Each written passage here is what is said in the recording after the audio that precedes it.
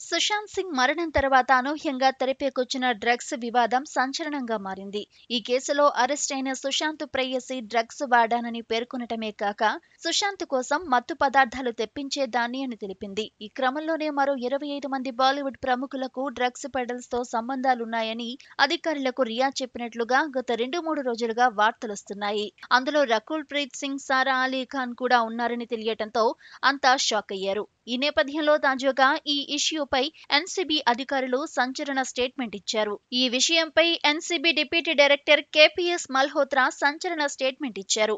ఆయన మాట్లాడుతూ గత కొన్ని రోజులుగా బాలీవుడ్ నటి డ్రగ్స్ రాకెట్ విషయంలో వస్తున్న వార్తల్లో ఏమాత్రం నిజం లేదు. రియా కేవలం డ్రగ్స్ స్మగ్లింగ్ చేసే వారి పేర్లు మాత్రమే బయటపెట్టింది. ఇక ఇరవై ఐదు మంది బాలీవుడ్ స్టార్స్తో డ్రగ్ డీలర్స్తో సంబంధాలున్నాయని వస్తున్న కథనాల్లో నిజం లేదు. అలాగే ఎక్కువగా ఈ కేసులో కొంతమంది బాలీవుడ్ స్టార్స్ని కూడా అరెస్ట్ చేయబోతున్నట్లుగా వస్తున్న రూమర్స్ కూడా అవాస్తవమే.